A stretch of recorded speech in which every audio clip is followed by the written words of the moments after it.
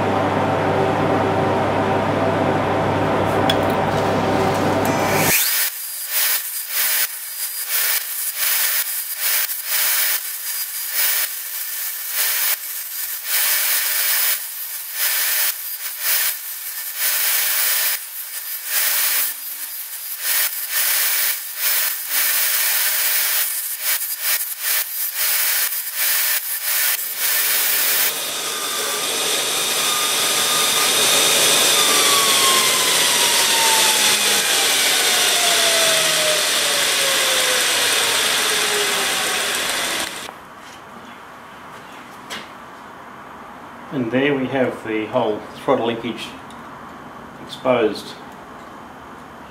As this will be bolted into the car, but that's what it looks like when it's all a unit. The next job I have to do is put a stop plate here. The other, other if I don't do that, when the um, when you're actually on full throttle, you'll be pushing too hard and you'll pull a cable too hard and you'll possibly break the cable. And that's it with the throttle stop. The uh, 8mm bolt in here, back that knot off, there's a captive nut there, back that knot off, adjust the bolt, lock it again, and that will give us a stop point without bringing the cable uh, to a point where it's going to try and stretch and break the cable or damage the butterfly stops in here. So there's the finished item installed. The work we did is all down here as you can see, going to the back there. Cable goes up through a grommet in the firewall. And then we're around in the firewall. Coming up over the top, I'll make some brackets to hold these uh, when I'm doing the fuel rail install and coming around there we have that end all set up so one more job you can cross off the list there's the list we're up to so far we can tick off our throttle cables and I think fuel hose and fuel filter that's done so uh, just got that's not much, just charge the battery. Starter circuits next thing. Fuel pressure regulator and the fuel rail, that's got to be done. They're all done, oil's been put in. The Motec wiring. Fifth throttles and airbox, that's a really easy last job. Anyway, that's where we are. Well, thanks for watching.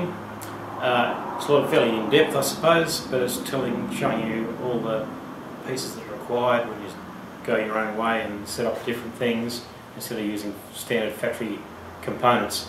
So I've got the um, pedal box now, it's all installed apart from the brake lines fitted to it, but uh, the accelerator cable is in and it works and that's uh, that was what we required today. Anyway, if you've been enjoying the, um, the series so far, give us a like and send a comment, leave a comment. We'll see you next time.